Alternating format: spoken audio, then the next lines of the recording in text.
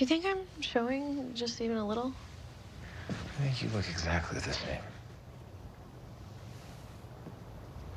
How you feeling? Oh, I feel like I could sleep for two weeks. Oh, yeah.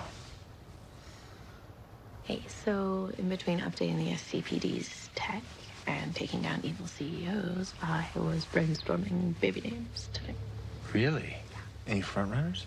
For a boy, I've always liked Lucas. Lucas. It's good. I may have thought of a name for a girl. Yeah? Mia. Short for Moira. Sweet and fiery. I love it. Regardless of whether we have a, a boy or a girl. I just want to make sure that she or he end up growing up in a better and safer Star City than I did. Yeah. I want that for both of our children. They'll always have each other to lean on. And they'll always have us.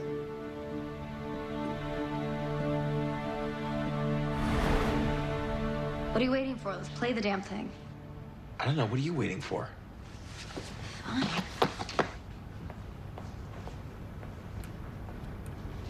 Maybe I should do it. It's not as easy as it looks. Just give it to me.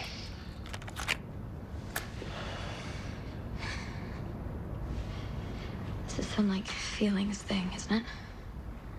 Well, I haven't heard Felicity's voice in almost two decades, so. Yeah, it is. Look, whatever she says on there, it's clear she wanted both of us to hear it. Together.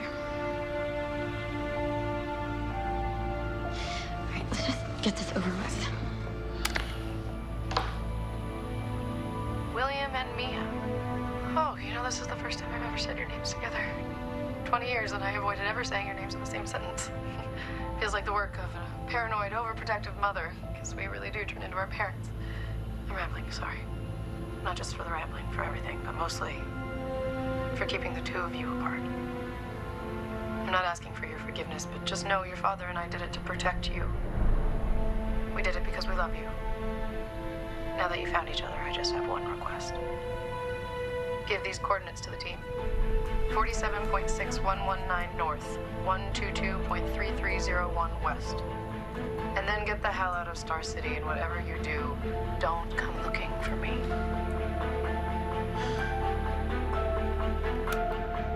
So we're ignoring her. Definitely. Know where these lead.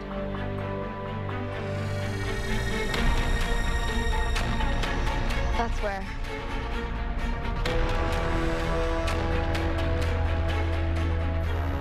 We're going over the wall. To the glades.